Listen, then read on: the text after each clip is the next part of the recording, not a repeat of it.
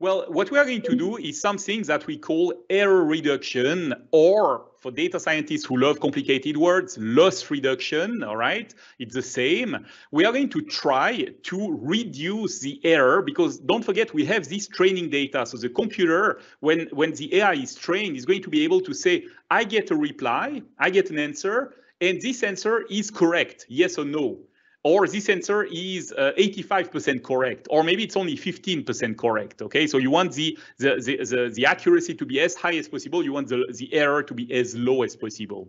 And what we could do Let's imagine that we have a system with two inputs, okay? And let's imagine that we have the possibility to plot for every value of W1 and W2, we have X1, X2, for every value of W1 and W2 to plot the error, okay? So we are going to have some values for which at the end we get a high error and those are here, those uh, yellowish hills that we see. And then we are going to have some other values where we get some low errors. And maybe we have one particular value where we have the lowest possible error, the lowest possible loss, okay? Here in that graph, it could be, for example, 142, 388. So now if we have the possibility to try and to measure the error for each value of W1 and W2, then it means that we can do something like that. We can tell the computer, okay, try just one random point, okay, one random value of W1 and W2 and calculate the error, okay? And now we get this point here.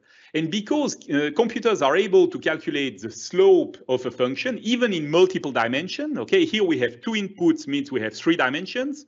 If we had 100 inputs, we would have 101 dimension. It's very complicated, but the computer is going to be able to calculate the slope in one given point in one given direction. And then it's going to try until it finds the steepest possible slope, okay? Steepest possible slope, this is hard to tell. All right, and then it's going to take one step down. So it's, it already took one step to reduce the error, okay?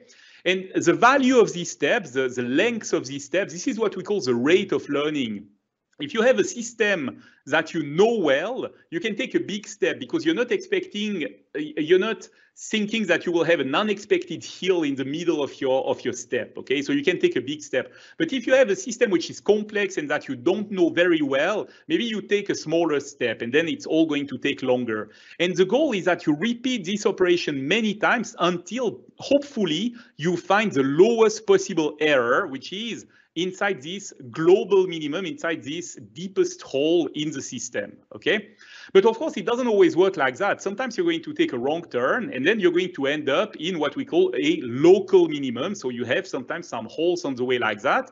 And of course, loss landscapes can be very, very complex. For example, this is an actual loss landscape where you see that you have a lot of local minimums and you have one global minimum, which is quite deep. And so in order to make sure that we don't end up in a local minimum, but that we really find out the, the, the global, the lowest possible value, computers are going to repeat this operation many, many times. And this is a, an iteration, if you want. Data scientists talk about epochs. We are going to do that for multiple epochs until we find the lowest possible value. Uh, and you could imagine that, okay, if I repeat that 100 times or 200 times or 500 times and I have 500 epochs, it's going to be even more, uh, even more precise. Actually, it's not the case, and we'll talk about that a little bit more a little bit later with the concept of overfitting. But basically, this is how those W's and those B's are calculated. So you can imagine that it's a very time consuming process. This is why training a computer, training an AI model is taking a long time. Uh, gradient descent, this is what it's called, is very expensive to compute. Data scientists talk about stochastic descent, another really cool word. Um, if you check, actually stochastic just means random. Okay, so if somebody tells you, oh, I'm using stochastic descent, you say, well, you're just random. And that's kind of what it says.